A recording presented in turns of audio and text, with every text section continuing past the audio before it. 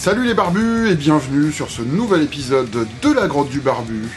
Aujourd'hui c'est l'épisode 141, palette à bière. Et qu'est-ce qu'on va faire aujourd'hui? On va se fabriquer une petite palette pour poser nos verres, pour pas salir la table à grand-maman. Oui aujourd'hui un petit épisode simple avec du matériel vraiment de base mais euh, qui va faire quelque chose de rigolo. L'idée vient pas du tout de moi, je l'ai trouvé en farfouillant des trucs sur le web. D'ailleurs, je vous mettrai un lien de, du truc que j'ai trouvé. J'ai essayé de reproduire plus ou moins la même chose. L'ingrédient principal pour cette construction est des abaisse langues. Vous savez, ces morceaux de bois que les docteurs utilisent et disent euh, Faites à. J'ai acheté les miens en pharmacie, ça coûte environ 3 euros pour une boîte de sang. Ce sont ces petits morceaux de bois qui vont faire le matériel de base de notre future palette à bière.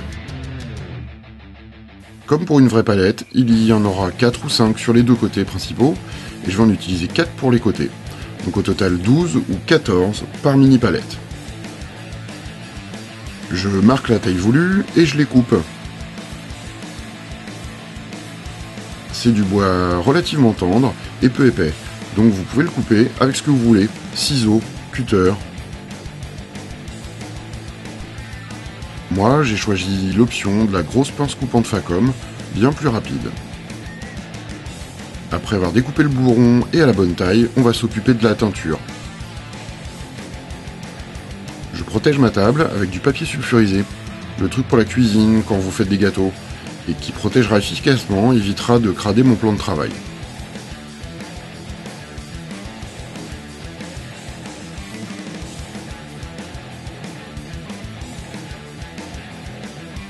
J'utilise de la teinture chêne moyen trouvée en magasin de bricolage. On remue bien, on ouvre, on touille un peu et on peut commencer l'application.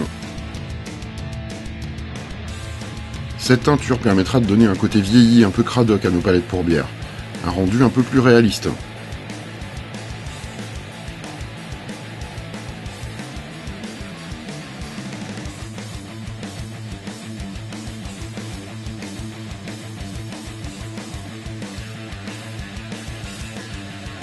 J'étale donc tous les morceaux de bois en rang pour application de la teinture.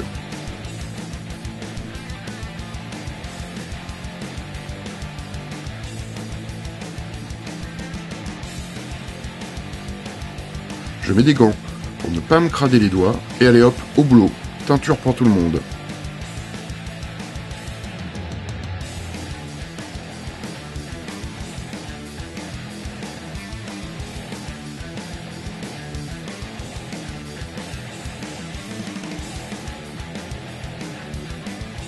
On voit bien la différence entre avant et après teinture.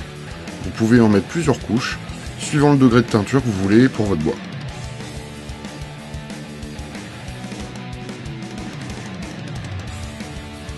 Je retourne les morceaux de bois pour faire l'autre côté, et là, bonne surprise. La teinture a coulé et marqué l'autre côté, et lui donne un rendu encore plus vieilli. Accident heureux, qui n'était pas prévu au programme, mais qui me va très bien.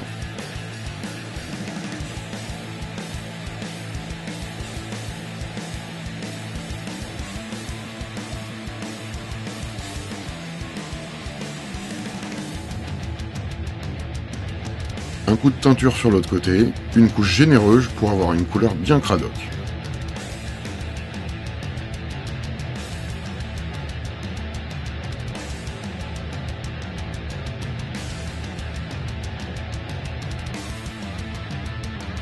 Il reste encore quelques spots de teinture pas complètement secs, donc je les essuie individuellement avec un sopalin, histoire de ne pas avoir les doigts pleins de teinture.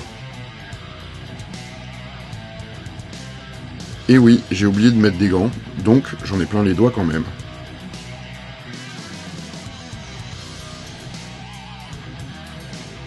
Le résultat est carrément pas mal, les taches de teinture donnent un côté vieilli, complètement dans la thématique du projet.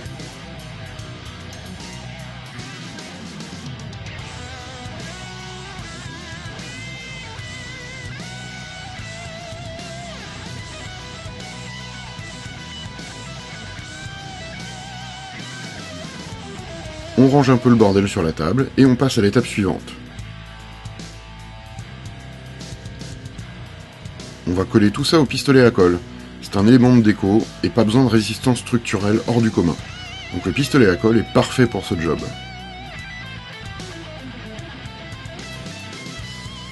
Je commence donc par coller deux bâtonnets ensemble, qui feront les côtés de la palette. Ça permettra d'avoir un peu plus d'épaisseur pour coller les autres éléments. Pas besoin d'en mettre une tonne, un peu de colle, une petite pression, et on est bon.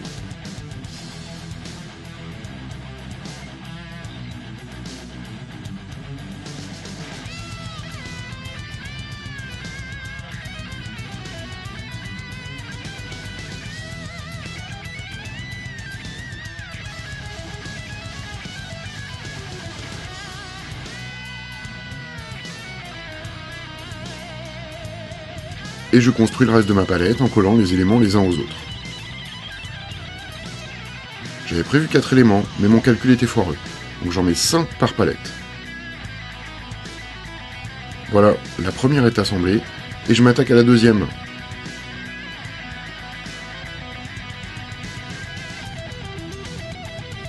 Et voilà le résultat, une micro-palette pour poser vos verres, vos bouteilles, vos bières, vos bouteilles d'eau, pour pas ruiner votre jolie table.